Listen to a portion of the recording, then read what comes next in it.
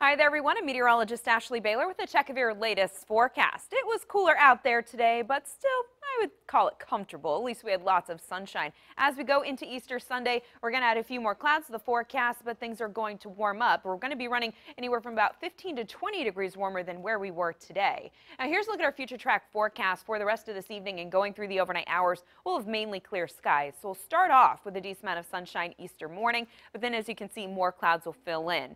Now, it is going to stay dry on Sunday, so for those outdoor Easter egg hunts, you will be fine. But yes, at times we will see more clouds than sunshine.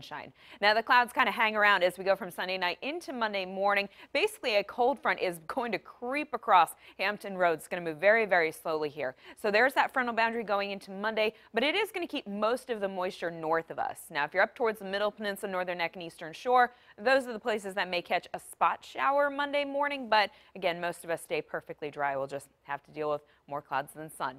72 degrees in Edenton tomorrow. Look for high of 71 down towards Hatteras. Across the south side, 72 in Chesapeake, 70 in Norfolk, 70 degrees in Franklin. Across the peninsula, peeks of sunshine along with that warm southwest breeze. Very light though. 69 degrees in Poquoson, 70 in Newport News, 73 degrees in Williamsburg, points north of that and along the eastern shore. 68 in Chincoteague, 70 in Gloucester. Notice a little bit cooler at Cape Charles. That's because that southwest breeze, that's an onshore breeze and it keeps things cooler down there.